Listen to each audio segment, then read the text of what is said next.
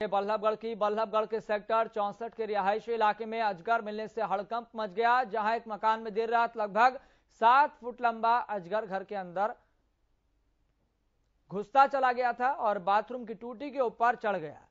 जैसे ही घर में रहने वाले लोगों ने इस अजगर को बाथरूम में देखा तो सभी हैरान रह गए और परिवार ने तुरंत इसकी जानकारी आदर्श नगर पुलिस स्टेशन को दी। मौके पर पहुँची पुलिस की टीम ने वाइल्ड लाइफ की टीम को मौके पर बुलाया।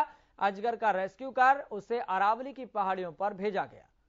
बता दें कि सेक्टर चौसठ के साथ से आगरा कैनाल निकलती है, जिसमें अक्सर इस तरीके से जीव जंतु निकल आते हैं, लेकिन घर के अंदर अजगर निकलने का यह पहला मामला सामने आया है।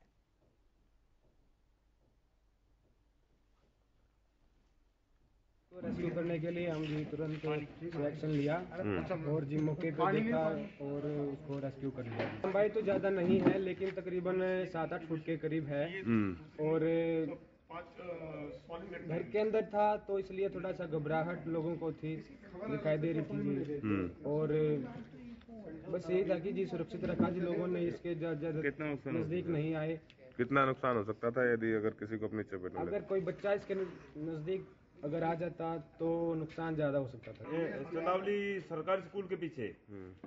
एक अजगर या सांप बड़ा सांप घर के अंदर निकला है। जिस सूचना पर पहले ही 112 ईआरवी पहुँच चुकी थी।